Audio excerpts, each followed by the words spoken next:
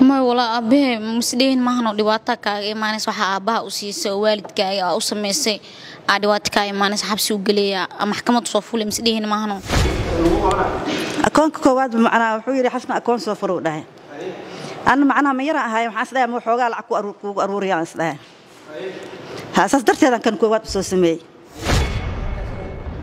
faaduma faaduma boosaas inay ciddaa maqlaani isma xiriiri jirin waa taqaanaa naagaha laysla qaba isma jecleen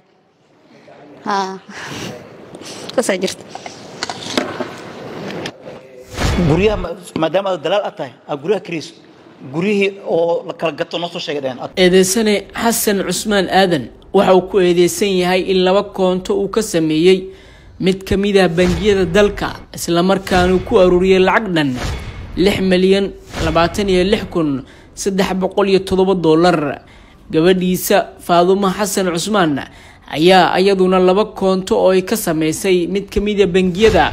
Waxay khawaarijta loogu aruuriyey saddex milyan toddoba boqol labaatan iyo sideed kun saddex boqol sagaashan iyo sagaal dollar dhibic sagaal senti xasna qaasin aways oo ahayd xaaskii hore ugu dhaxday ayaa sidoo kale sameysay laba koonto oo lacagta khawaarijta loogu aruuriyay dhan tahay laba milyan toddoba boqol afartan iyo toddoba kun laba boqol iyo sideed dollar dhibic sideed senti aamine cabdulaahi abanuur oo ahaa xaaska ay hadda wada nool yihiin eedeysane xasan cusmaan ayaa sidoo kale waxaa la soo bandhigay hal koonto oo lacagta khawaarijta loogu aruuriyay dhan tahay.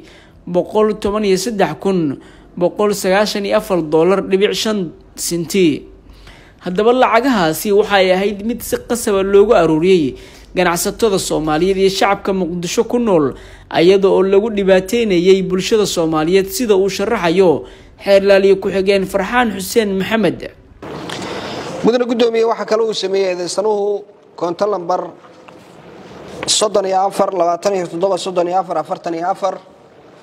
waxa uuna koontadaas funraising ama ururin maaliyadeed ugu sameeyey kooxda argixisada ah lacagtaas oo cadadkeedu uu dhanyahay milyan oo kun dolar eedaysanuhu sidii maadaama bangiyada dalka iyo shuruucda dalkuba ee bangiyada ay ku waajibinayaan sidaan sheegnay inay maraan habraacyo. Foomkan ayaa isagana uu ku furtay koontadaas. Mudane guddoomiye foomkaas waxaa ku dhegan sawirkiisa sida laga arki karo. Ayadana waa macluumaad dhammaystiran oo intii baa ku qoran. Sidoo kale waxaa ku dhegan warqadda dhalashada ee dowladda hoose. Isla koontada uu foomkaa ku furtay mudane guddoomiye waa koontadan. Koontadan mudane guddoomiye sidaan sheegay lix bilood ayay furnayd. Lacagta martayna waa lacag lix milyan oo dollar ku dhow. Lix milyan oo dollar. Lacag yar ma ah saas daraaddeed mudane guddoomiye dadka lacagaha soo dhigaya maadaamay famil ahaayeen familku koontooyin kala duwan ay lahaayeen dhammaantoodna funraising ama kooxda argixisada ay lacag ururin u samaynayeen dadka lacagaha soo dhigaya waxaa ka mid ah xasna aweys qaasim. Xasna aweys qaasim waxay leedahay koontada lambarkeeda ugu dambeeyo ay ugu dambayso. Lacagaha mudane guddoomiye ay soo dhigayso markii koontadeeda ay lacagta ku ururiso ayay ayadu u wareejinaysaa isla koontada eedaysanaha waxayna u soo dhigaysaa konton kun konton kun lacago dabcan saa ku soo galaya ayaa jira. Isla eedaysanaha faadumo xasan cismaan ayaa iyaduna soo dhigaysa oo koontooyinkeedii lacagahay ka wareejiso. Dabcan mudane guddoomiye waan soo calaamadaynay ayadana maxkamaddu si toos ayay u arki kartaa. Waxaa ka mida dad kale oo dabcan kooxda argixisada u samaynayay arrimahaas. Saas daraaddeed lacagta martay waa lacag ku dhow lix milyan oo dollar. Muddo toddoba bilood keliya ayuu funraisinka ku sameeyey. Saas daraaddeed eedaysanaha ayay liid ku tahay caddayntan. Wadarta guud eedaysanuhu wadarta guud ee dembiga maalgelinta argixisa ee uu eedaysanuhu sameeyey waa lix milyan afartan iyo saddex kun siddeetan iyo toddoba dolar waa lix milyan afartan iyo saddex kun siddeetan iyo toddoba dolar mudane guddoomiye eedaysanaha labaad faadumo xasan cismaan iyadana waxaan ku soo eedaynay saddexdaa eedood oo ah maalgelin argaxiso lacag dhaqis iyo ka mid noqosho urur hubaysan. Koontooyinka sida ay maxkamadda horey eedeenna ugu sheegtay ayaan waafaqsannahay. Gudana guddoomiye lacagta guud ay faadumo ku dhaqday ama maalgelinta argaxiso ay ku samaysay waa saddex milyan toddoba boqol labaatan iyo sideed kun saddex boqol sagaashan iyo sagaal dolar dhibic sagaal senti. Halka eedeysanaha saddexaad xasne awiis qaasim iyaduna ay samaysay laba koonto oo ay ugu ururisay kooxda argixisada ee al-shabaab. Mudana guddoomiye eedeysanaha afraad ayaa koontooyinka ay ku samaysay waxaa noo suurto gashay oo keliya inaan helno hal koonto. Waxaa naga maqan koontooyin kale oo eedeysanaha afraad ay leedahay. Aamina cabdulaahi abanuur lacagta cadadkeeda ay maalgelinta ku samaysay waa boqol saddex iyo toban kun boqol sagaashan iyo afar dolar dhibic shan senti. Mudana guddoomiye dadkaasoo sheegay inay dad famila yihiin. Lacagta tootalkeeda lacagta maalgelinta argixisa ay sameeyeen afartoodu waa labiyo toban milyan lix boqol soddon iyo kow kun sideed boqol sideetan iyo sagaal dolar dhibic sagaal senti eedeysane xasan cusmaan aadan iyo kooxaha khawaarijta ayaa iskala jaanqaaday sida uu maxkamadda u sheegay. Waxa uu xasan ahaa dalaal guryaha kala iibiyaha caana ka ah magaalada muqdisho. Sanadkii labada kun iyo labaatankii ayuu kooxaha khawaarijta ugu tegay beerta cali mahdi waxaana lagula ballamay inuu soo sheego xogta dadka guryaha iska iibinaya kuwa guryaha iibsada iyo sidoo kale kuwa guryaha dhisanaya si lacago baad ah ay khawaarijta uga qaataan. Waxaa sidoo kale khawaarijta ay kula shaqaynayay sameynta akoonada lacagaha loogu aruurinayo. Eedeysane xasan inta uu shaqadan waday waxa uu sheegay inuu sameeyey labiyo toban koonto oo kala duwan. Si bangiga uu jahwareeriyo loogana shakin waxa uu mid walba ku qori jiray qof ehelkiisa ah isagoo sheegaya in ganacsatada baadiyaha fog jirta oo ehelka ay yihiin ay isticmaalayaan. Waxaa sidoo kale uu sheegayay in ehelka qaarkood oo xanuunsan lacaga loogu aruurinayo. Eedeysane xasan halkii koonto oo uu ka furo bangiga waxa uu khawaarijta uga qaadan jiray lacag dhan shan iyo labaatan dollar oo keliya. Ya guryaha maadaama aad dalaal aad tahay aad guryaha kirayso guryihii oo la kala gato noo soo sheegay dhaheen aad kala gadid haddaa guri gadid noo soo sheeg haddii guri oo la dhisaa noo soo sheegay dhaheen beerta calimaada naga wac kule nin walbo waa shaqan ma halna israacna bis lixna waa israacna labana waa israacna mid kalena israacna oo maxamed elaa la yidhahdo waan israacnay hata waa la wici kara naftiisa waa la weydii karaa qoodo kale ay koox kale ahaayeen dalaado kale لكن من كان أصلا بدنا الشغل محمد الشغل آه. ما ما يلا كليراد دلال وها الشغل اسكو ما آه، كان مقرن الشغل آه خوض كلو ولي بيري تربيانو أي اسكو شغل هاي كوس آه. أنا ما بخاف استمر كل بركي ودميب لما كان كسر إلى صوع. فرشان طواب سك دمي شان ساشلوت مزاف فرطوها ما كسر دمي furanqat waxaa laga joogaa afar sanamal afar sano ila saddex sano meelahaas laga joogaa. Meelahaas ah.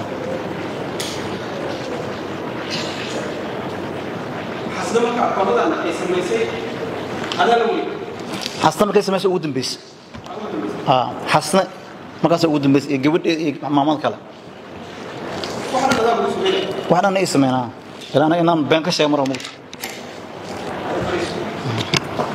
xafiiska xeerlaalinta oo juhdi badan ku bixinaya dagaalka ka dhanka ah kooxaha khawaarijta gaar ahaana kuwa dhanka maaliyadda u qaabilsan ayaa sharciga hor keenay.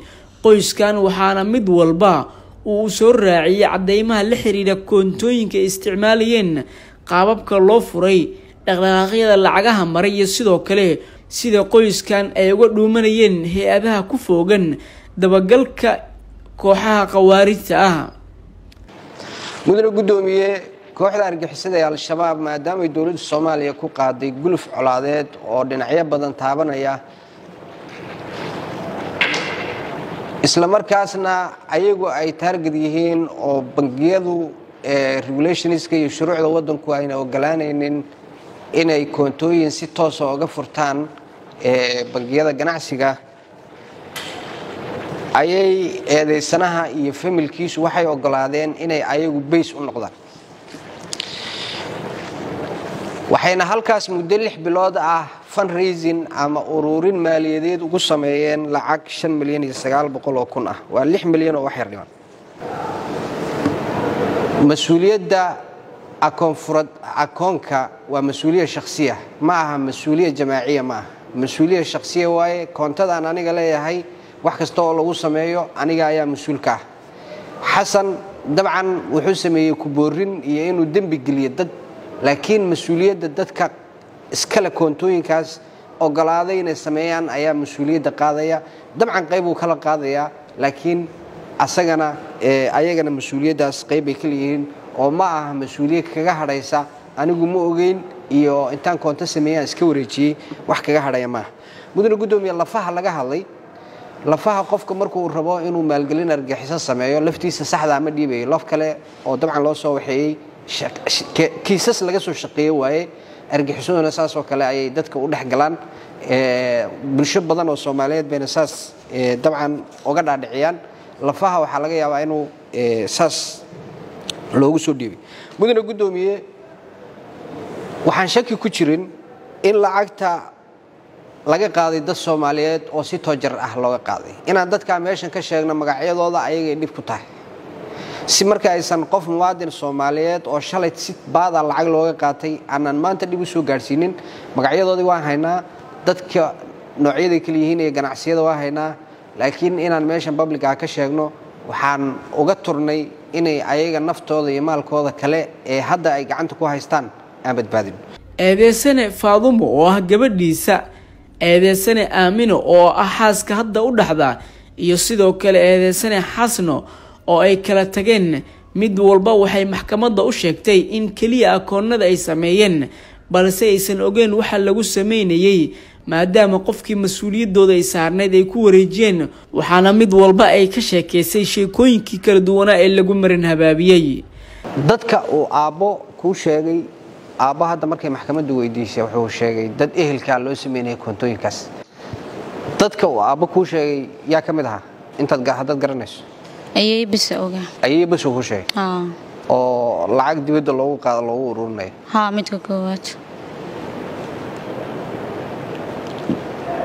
Koontooyinka magacaaga ku furan oo aad sheegtay waxaa lagaga qaaday dad soomaaliyeed oo ganacsataa oo magaalada muqdisho joogaa lacag si xooga looga qaaday lagu shubay lagu ururiyey oo la yaqaano. Marka lacagtaas ma waxaa la dhihi karaa lacagtii ehelka ururinayeen hooyo ayay u arurinayeen miya?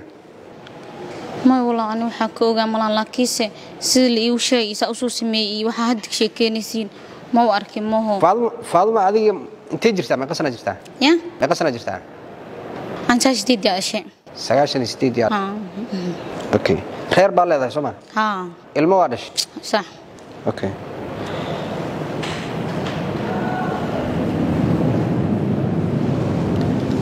Mas'uuliyadda mas'uuliyad waxa ku saaran iyo waxaan ku saarnay waad kala garan kartaa soo ma? Yaa aabba ma weydiisay ama ma garanaysay adigu waxa ka dhalan kara in xogtaada sawirkaaga macluumaadkaaga intaad aad koonto ku samayso inaad aabbaha ku wareejiso oo wax lagu samaynaya aada garanayn. May walaa aabbahe masdhehin maahano dhibaato kaaga imaanays waxaa aabbaha u siisay oo waalidkaaga aa u samaysay. Aa dhibaato kaa imaanays xabsi u gelaya maxkamad soo fulay masdhehin maahano aan aabbahe soo sameeya udhaa waa soo sameeyey. Waalidna waayo ana wiil aa ma dhihi kara aabban kuu samayn kara iyo waa kuu samayn karaa.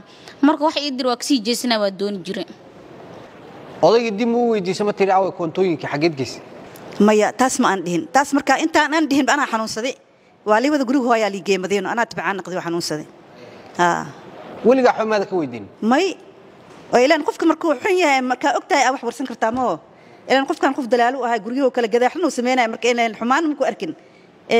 Shaki makaa qaadi karaa adi. Ada maadaama odagayga aad tahay oo wax dhan dalaal waa meel kasta aa ku ordaysid makaa shaki karaa maya maadaamaad aad markii hore iska dhaadhicisay inuu lacag kugu ururinayo markaad lacagtii oon lagu ururinin aad aragtay Ah. maxaa u weydiin weyse intaas ma la isla gaarin be meeqa sanaa ka soo wareegtay ada hadda saddex sanaa kala furanaani asi xitaa markaad markii aad furteen kadib ma weydiiso ma tiri away koontooyinka maya waaba kala tagni maxaa weydinaa markaas soo waxaad adiga leedahay maaha ma weydin wallaahi koontada soo adi maad iska lid ilaan anaa baxan uu soo tabcaan ahay ma oho liil orda guriga hooy liigee ma hadleen hataa hadduu ilaahay nafti igu soo celiye haa ilaahay khayr ha isiiye ilaaha nafti igu soo celiya waa tabcaanaan ahay ani micnaha in muddaa daba taagnaay maho ninkan nin oo wuxuu ahaay dalaal oo shaqaysanayo oo ahaay anagana marka muddo badana kiraysta aan ahayn guryo kira aan degneen marka waxaan dhahay niyo intaanoo dhaqaalaha ku soo maray kowdha dhaqaalahana waa kaa muuqdaaye bal nus booskoo rubuco maanuu raadisa oo goofa aa degno markaasoo idhahay wax akoona la samaystaa akoon ma samey taqaanaa anna waxaan dhahay sida wax loo qoro ma aqaanisee wax la yeelaa asigaa asigaa i waday saasaan ku soo sameeyey. Asaa ila socday maalintaa sameynaa tilaabta la qaado xigta waxay ahayd wuxuu dhahay waan kuu sameynaa guriga hadda waxaa ku khasban tahay inaa akoon aa soo samayso. Anna waxaan dhahay akoon sida loo sameeya ma aqaan waxbaa la qorqoraaya yaa qoraya wax. Woo i wada marka asaaba gacantiisa igu waday oo igu geeyey eh, meesha oo shirkadda. Foomka asaa buuxiyey ani waxba ma qoray aqaan markaan dhahay sida hadda dadkan naga dambeeya oo kale ay u fadhiyaan meel loo fadhiistaa jirto. Marka waxaan leedhahay foomka buuxi leedhahay asaa warqadaha u geeya asaa gacantiisa ku buuxsaday ani sabirka oo keliya leega qaaday wax ma qori taqaanaa mayaan dhahay bahalqada ii dhiibeen suul kale u bis. Warqadaha asiga oo wadayaa haa simikaar cusubaa la socday Aa, simikaar cusub waa la socday oo waday oon la- isticmaalin. Soo jeedinta haddaan oo akoon in la sameeyaa. Maya ani ninkan waa u cabaaday maho waa u cabaaday waxaan dhahay niyo saana u shaqaysanayahaan dhahay kowdhe. Meel aan degna maanoo samaysidaan dhahay marka asigana wuxuu idhahay wadaan aan kuu samaynayo waxay lacag lagu keediyaa jiray ma samaynee markaasaan dhahay wax lacagta lagu keedinayo maxay tahay? Simikaar ma simikaar maanuu yiri okoonaa la dhahaa. Ee akoon see loo sameeya qaabka loo sameynaa anaa kuu sharaxayo uu idhahay waa i wada salaam bangiyo i geeyey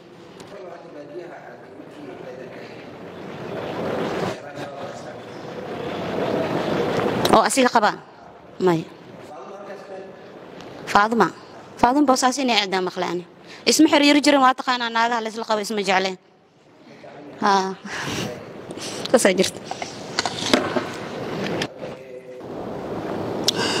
maxkamadda waxaa lagu hor shan iyo tobankii bishii afraad laba kun afar iyo labaatanka qiraal aad qorto maxkamadda horteeda aad ku qortay oo waxaa jira aad leedahay waxaan anigoo maskaxaan iyo jir ahaan ka fayo akoonna u- bangi salaama uga sameeyey shan iyo toban qof oo ay ka mid yihiin faadumo xasan maxamed faadumo xasan cusmaan cumar xasan cabdalla iyo labadeyda xaasoo kale aamine cabdulaahi abanuur iyo xasna aweys qaasim.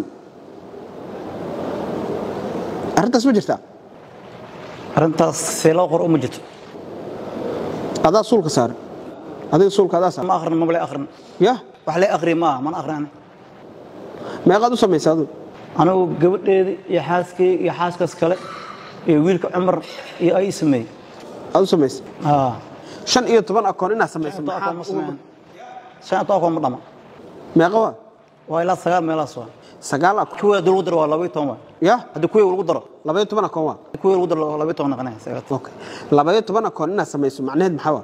Maxaa way ula jeeda waxaa ula jeeda ehelaan u sameeyey. Ya? Ehelkaan u sameeyey. Ehelkaaga u samaysay Ah.